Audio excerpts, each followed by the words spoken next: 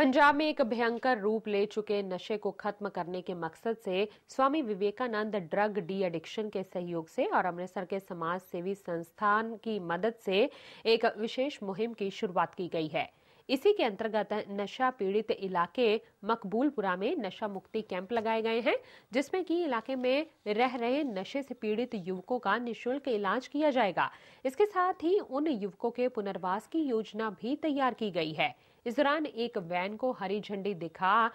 रवाना किया गया जो कि अमृतसर के नशा पीड़ित इलाकों में जाकर वहां पर कैंप लगाकर पीड़ितों का इलाज करेंगे ਇੱਕ ਤੇ ਨਸ਼ਾ ਕਰਨ ਦਾ ਕਾਰਨ ਸਭ ਤੋਂ ਵੱਡਾ ਇਹ ਕਿ ਚਲੋ ਯਾਰੀ ਦੋਸਤੀ ਦੇ ਨਾਲ ਰਲ ਕੇ ਅਸੀਂ ਯਾਰਾਂ ਦੋਸਤਾਂ 'ਚ ਨਸ਼ਾ ਕਰਨ ਲੱਗ ਗਏ ਇੰਜੋਇਮੈਂਟ ਦੇ ਕਾਰਨ ਤੇ ਉਦੋਂ ਵਿਹਲੇ ਹੁੰਨੇ ਹਾਂ ਵਿਹਲੇ ਦੇ ਕਾਰਨ ਸਾਨੂੰ ਇਹ ਨਸ਼ਾ ਲੱਗ ਗਿਆ ਜੋ ਕਿ ਬਾਅਦ ਵਿੱਚ ਸਾਡਾ ਇਹ ਜਿਹੜਾ ਸੀ ਇਹ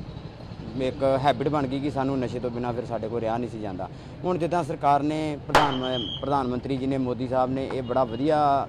ਸਿਸਟਮ ਚਲਾਇਆ ਕਿ ਇਹ ਹਰ ਇੱਕ ਪਿੰਡ ਦੇ ਵਿੱਚ, ਹਰ ਇੱਕ ਸ਼ਹਿਰ 'ਚ ਜਾ ਕੇ ਇਹ ਮਤਲਬ ਕਿ ਦਵਾਈ ਦੇ ਰਹੇ ਨੇ, ਕੈਂਪ ਲਗਾ ਰਹੇ ਨੇ। ਕੈਂਪਾਂ ਦੇ ਵਿੱਚ ਫ੍ਰੀ ਨਸ਼ਾ ਛਡਾਊ ਮਤਲਬ ਕਿ ਕੈਂਪ ਲੱਗੇ ਨੇ। ਤੇ ਅਸੀਂ ਹੁਣ ਇਹ ਕਹਿਣਾ ਚਾਹੁੰਦੇ ਕਿ ਅਸੀਂ ਜਿੱਦਾਂ ਹੁਣ ਦਵਾਈ ਖਾ ਕੇ,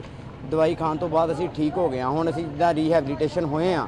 ਤੇ ਸਾਡੇ ਕੋਲ ਹੁਣ ਕੋਈ ਨਾ ਕੋਈ ਨੌਕਰੀ ਹੋਣੀ ਚਾਹੀਦੀ ਹੈ, ਜੇ ਮਕਬੂਲਪੁਰਾ ਏਰੀਆ ਦੇ ਵਿੱਚ ਅੱਜ ਅਡਾਪਸ਼ਨ ਕੀਤੀ ਹੈਗੀ ਅਲਫਾ ਮਾਲ ਨੇ। ਕੋਸ਼ਿਸ਼ ਇਹੀ ਸੀਗਾ ਕਿ ਇਹਨਾਂ ਦੇ ਪੇਸ਼ੈਂਟ ਜੇ ਕੋਈ ਉੱਥੇ ਹੈਗਾ ਡੀਡਿਕਟਸ ਹੈਗੇ ਨੇ, ਉਹਨਾਂ ਨੂੰ ਡੀਡਿਕਟ ਕੀਤਾ ਜਾਵੇ ਤੇ ਥਰੂ ਪ੍ਰਾਈਵੇਟ ਸੈਕਟਰ ਐਸੋਸੀਏਸ਼ਨ ਦੇ ਨਾਲ ਕੀਤਾ ਜਾਵੇ। ਤੇ ਇਸੇ ਕੋਸ਼ਿਸ਼ ਦੇ ਨਾਲ Swami Vivekananda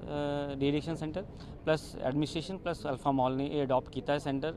ਕੋਸ਼ਿਸ਼ ਕਰਾਂਗੇ ਕਿ ਘਰ ਘਰ ਜਾਈਏ ਔਰ ਇਹਨਾਂ ਦੇ ਜਿਹੜੇ ਪੇਸ਼ੈਂਟਸ ਹੈਗੇ, ਉਹਨਾਂ ਦਾ ਪ੍ਰੋਪਰਲੀ ਮੈਡੀਸਨ ਦੇ ਤੌਰ ਤੇ ਵੀ ਇਲਾਜ ਹੋਵੇ ਔਰ ਸੋਸ਼ਲੀ ਵੀ ਇਲਾਜ ਹੋਵੇ ਪਲੱਸ ਇਹਨਾਂ ਨੂੰ ਰੀਹੈਬਿਲਿਟੇਟ ਕੀਤਾ ਜਾ ਸਕੇ। ਇਹੀ ਕੋਸ਼ਿਸ਼ ਨਾਲ ਮਕਬੂਲਪੁਰਾ ਨੂੰ ਅੱਜ ਅਡਾਪਟ ਕੀਤਾ ਸਰ ਗਿਆ ਜਿਹੜੀ ਵੈਨ ਤੁਸੀਂ ਹਰੀ ਝੰਡੀ ਦਿਖਾਈ ਉਹਨਾਂ ਵੈਨ ਇੱਕ ਜਾਏਗੀ ਮੋਬਾਈਲ ਵੈਨ ਹੈਗੀ ਇਹਦੇ ਵਿੱਚ ਮੈਡੀਸਿਨਸ ਤੇ ਡਾਕਟਰਸ ਪਲੱਸ ਨਰਸਿਸ ਉੱਥੇ ਜਾ ਕੇ ਕੈਂਪਸ ਲਗਾਉਣਗੀਆਂ ਔਰ ਜੇ ਵੀ ਮੈਡੀਸਿਨ ਚਾਹੀਦੀ ਹੈ ਉੱਥੇ ਇੱਕ ਅਸੀਂ ਰੂਮ ਵੀ ਲਿਆ। ਰੂਮ ਦੇ ਵਿੱਚ ਵੀ ਚੈਕਿੰਗ ਓਪੀਡੀ ਹੋਏਗਾ। ਇਸ ਤੋਂ ਇਲਾਵਾ ਅਸੀਂ ਇੱਕ ਨਵੀਂ ਵੈਨ ਜਲਦੀ ਲੈਣ ਜਾ ਰਹੇ ਹਾਂ ਜਿਹਦੇ ਵਿੱਚ ਅਸੀਂ ਪੇਸ਼ੈਂਟਸ ਟ੍ਰਾਂਸਫਰ ਕਰਾਂਗੇ ਜਿਹੜੇ ਹਸਪੀਟਲਾਈਜ਼ ਕਰਨ ਦੀ ਲੋੜ ਪੈਂਦੀ ਹੈ ਉਹਨਾਂ ਨੂੰ ਹਸਪੀਟਲਾਈਜ਼ ਕੀਤਾ ਜਾਏਗਾ।